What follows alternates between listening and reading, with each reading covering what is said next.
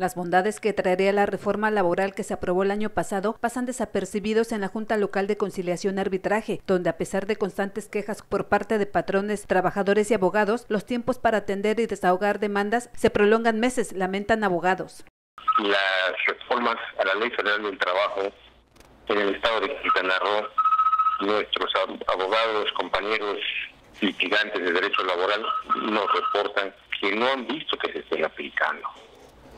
no hay un avance en, beneficio de los trabajadores como así se anunció a nivel nacional que sería de esta, esta reforma, ¿verdad?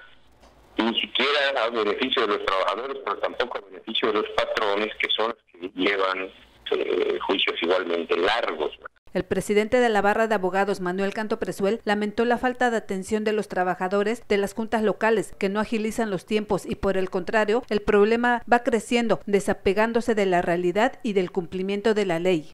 Los plazos, por ejemplo, los plazos que la, que la ley marca de, desahogo de los juicios, de desahogo de las, de las audiencias, del cumplimiento de, de, las, de los laudos o sentencias que se y del cumplimiento de esas, esas, resoluciones, que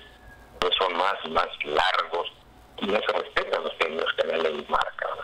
Ese es básicamente. Aparte de los otros, los que nos han mencionado de la, la, ya la saturación absoluta de las juntas de conciliación,